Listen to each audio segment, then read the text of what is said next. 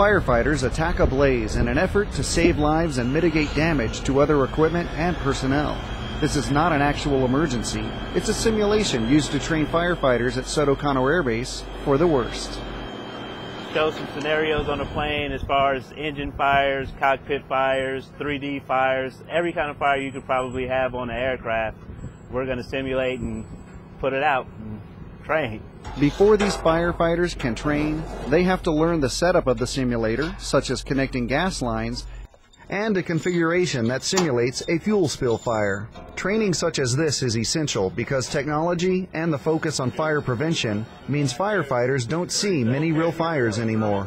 To keep their, their skills honed, um, to ensure that they're uh, familiar with their equipment uh, and that they're um, they're ready at all times. This gives them a, a great opportunity to uh, refresh their, their skill sets and, and enhance them at the same time in the Air Force at an air base, the most important part of being a firefighter is protecting the aircraft. So I mean, you definitely you definitely want to know what you're doing when you're getting on the aircraft because I mean it's, it's, not every day you have a plane crash. So we need we use the simulator to practice and, and we practice how we play it. We play how we practice.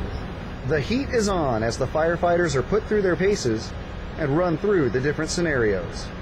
After the training, the firefighters roll their hoses and stow their gear. They are now ready if they ever have to put this training to the test. Specialist Chuck Gill, Soto Cano Air Base, Honduras.